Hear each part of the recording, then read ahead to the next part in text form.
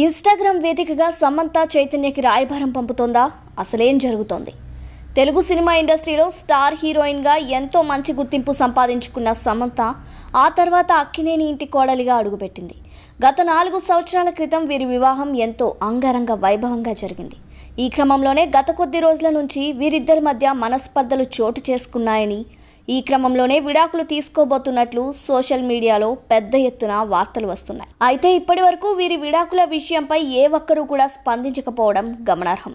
Social మీడియాలో వీరి గురించి పెద్ద ఎత్తున వార్తలు వస్తున్నప్పటికీ వీరు మాత్రం వారి సినిమాలతో బిజీగా ఉన్నారు. ఇక సమంత ప్రస్తుతం ఒంటరిగా చెన్నైలో తన స్నేహితులతో కలిసి ఉంటున్న సంగతి తెలిసిందే. అలాగే నిత్యం సోషల్ మీడియాలో ఎంతో యాక్టివ్గా ఉండే సమంత సోషల్ మీడియా వేదికగా పలు ఫోటోలను షేర్ చేస్తూ అభిమానులను సందడి చేస్తారు.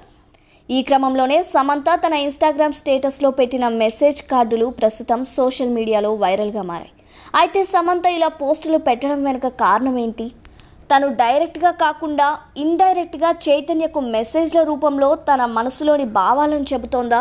లేక క్యాజువల్గానే ఈ విధమైనటువంటి పోస్టులు పెట్టిందా అనే విషయం ప్రస్తుతం చర్చనీయాంశంగా మారింది. ఈ క్రమంలోనే సమంత తన ఇన్స్టాగ్రామ్ స్టేటస్లో భాగంగా నువ్వు నన్ను బాధ పెట్టి ఉండొచ్చు. నేను నిన్ను బాధ పెట్టి ఉండొచ్చు. ఇలా ఒకరికొకరం బాధ పెట్టుకుని ఉన్నప్పటికీ రియాలిటీ మాత్రం ఇదే.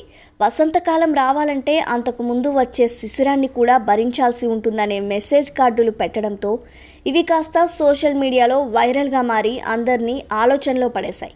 ప్రస్తుతం సమంత విడాకుల విషయం సోషల్ మీడియాలో వైరల్గా మారడంతో సమంత ఈ విధమైనటువంటి మెసేజ్ చేయడం వెనుక కారణం ఏంటి తన భావాలను తన మనసులోని మాటలను ఇలా సమంత తన భర్తకు చేరవేయాలనుకుంటుందా? అసలేం జరుగుతోంది అంటూ అభిమానులు మరోసారి ఆలోచనలో పడ్డారు.